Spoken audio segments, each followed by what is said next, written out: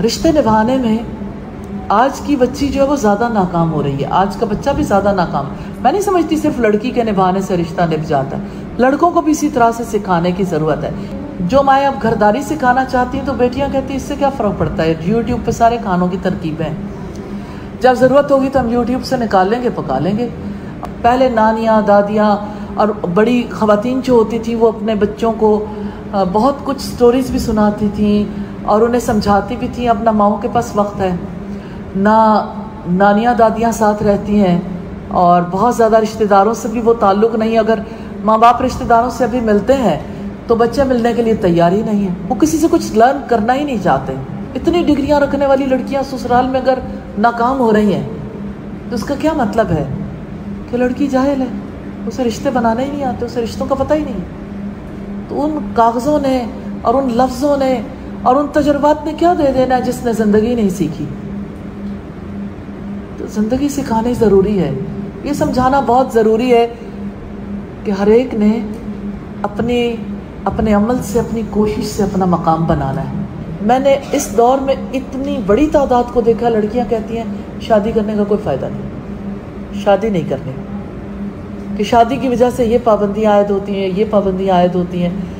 तो आप आप बदलती सोसाइटी को ज़रूर देखिए कि इस वक्त पे सोसाइटी के अंदर जो तब्दीलियाँ आ रही हैं, उसकी वजह से रिश्तों में कितना बिगाड़ आ रहा है। ससुराल भेजने के बाद लड़की की बात को सुनकर ससुराल वालों से रिलेशन ख़राब कर लेना और बेटी को नसीहत करने की बजाय बेटी का साथ दे देना, ये बहुत बड़ी गलती है जिसको दूर करना बहुत ज़्यादा ज़रूरी है।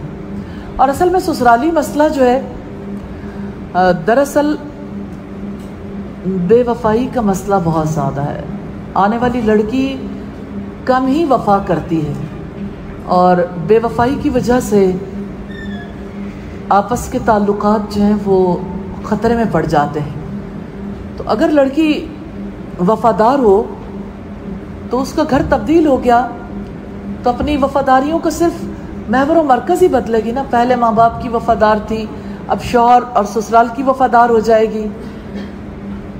तो लड़की ससुराल जाने के बावजूद भी मेके के घर को ही अपना घर कहती है और ससुराल के घर को ससुराल बोलती है और ससुराल को अपना नहीं बनाती, जिसकी वजह से उसकी वफादारियाँ मेके के साथ रहती हैं, लेकिन ससुराल के साथ वो वफादारियाँ जो हैं वो अमलन जो ज़रूरत है, वो नहीं, वो वफादारी रखती, जिसकी वजह से ससुराल के साथ वो खैरखा नहीं होती और खरखाही के बगैर ये रिश्ता भी नहीं निपटा और कुछ माँ बाप ऐसे होते हैं जो अपनी बेटियों को तलकीन करते हैं, हर रोज़ फ़ोन कॉल ज़रूर करना। अब जिसने हर रोज़ लड़की ने फ़ोन कॉल करनी है तो वो क्या बताएगी? यही ना कि मेरे साथ फुला ने ये कहा, मेरे साथ फुला बात बीती। और अक्सर ससुराल वाले इस बात को अजहद महसूस करते हैं कि लड़की अगर अपने माँ बाप से बात करती है तो ज़रूर हमारे बारे में नेगेटिव बात शेयर करती होगी। तो उस सबके जहन में मनफी बातें आती हैं, इस वजह से घर वालों के साथ ऐसा लिंक रखना कि जिसमें पीछे हर बात की खबर देना। यानी आप यानी कोई न्यूज़ चैनल है जिसने हर वक्त न्यूज़ रिलीज़ करनी है ससुराल की? तो ससुराल की न्यूज़ रिलीज़ होती है और घर वाले सुनते हैं, इसलिए घिराने नहीं बसते। और फिर आप देखिए कि जैसे यानी कितने ही खुश नसीब माँ बाप हैं जो अपने बच्चों को नसीहत करते हैं। कि हमें उधर की कोई बात नहीं बतानी? रियली जो मुखलिस माँ बाप होते हैं, वो अपने बच्चों को जब नसीहत करते हैं और लड़की को पता होता है मेरी बात किसी ने नहीं सुननी तो उन बातों पर भी ज़्यादा टची नहीं होती। और जाके पीछे माँ बाप को भी उन बातों की वजह से परेशान नहीं करती। और जो लड़कियाँ माँ बाप के साथ अपने दुख, यानी खुद साख्ता दुख शेयर करती हैं। बाज़ तो उसकी हकीकत भी होती है, अक्सर अवकात हकीकत नहीं होती। तो खुद साख्ता दुख जाके शेयर करती हैं, पेरेंट्स बेचारे दुखी हो जाते हैं। खुद वो अपने हस्बैंड के साथ ससुराल वालों के साथ ठीक हो जाती हैं। और उसके बाद पेरेंट्स का दुख कभी ख़त्म ही नहीं होता। क्योंकि लड़की ने तो बातचीत कर ली, उसको एड्रेस कर लिया, उसको ठीक कर लिया। अब वो जो पीछे बैठे उन्हें पता ही नहीं है क्या सूरत हाल बन गई वो हर वक्त अपनी बेटी के लिए परेशान है, दुआएँ करते हैं, किसी तरह बेटी का घर बस जाए। लेकिन बेटी को काश के नसीहत कर दें कि उधर की बातें हमें इधर आके ना बताया करो। ज़िंदगी में मुश्किल नहीं होता। हमारे वालदेन ने हमें तलकीन की थी कि जिस वक्त आप, यानी ससुराल में जो कुछ भी पेश आए, हमारे साथ उसका तस्करा नहीं करना। एक बात भी नहीं सुननी हमने। अल्हम्दुलिल्लाह, यानी उसका बड़ा नफ़ा हुआ कि ठीक है, अब अपनी, हमारी ज़िंदगी है ना, अब इस ज़िंदगी में हमने खेलना है। यानी हमारा काम है। तो अपनी सेल्फ रिस्पॉन्सिबिलिटी भी फील होती है। तो जो लड़कियाँ अपने ख़ानदान पे तकिया कर लेती हैं और ख़ानदान के सामने जाके सारी बातचीत बयान करती हैं तो वो किस तरह कितने ही घरानों के बिगाड़ का सबब बन जाती हैं क्योंकि एक बेटी को देख कर फिर ज़ाहिर है एक बाज़ भतीजे भतीजियाँ भी होती हैं भांजियाँ होती हैं फैमिली में। आ, उसकी एज की कितनी कज़न्स हैं उसकी जो यानी फिर फील करती हैं उन बातों को और यानी उनका नुक़ नज़र ये हो जाता है कि ससुराली ज़िंदगी एक ऐसी ज़िंदगी है जिसको गुजारना मुमकिन नहीं।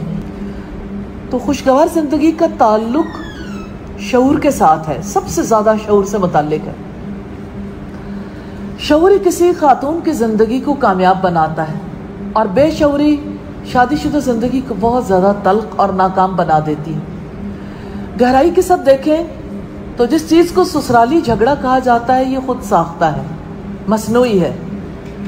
और हमारा पूरा मुआशरा जिस लड़की की शादी होती है, उसके ससुराल में मसला पैदा हो जाता है। और सारे ससुराल, यानी सारे घराने ठीक ठाक होते हैं, लड़की के आते ही एक अजीब हलचल पैदा हो जाती है।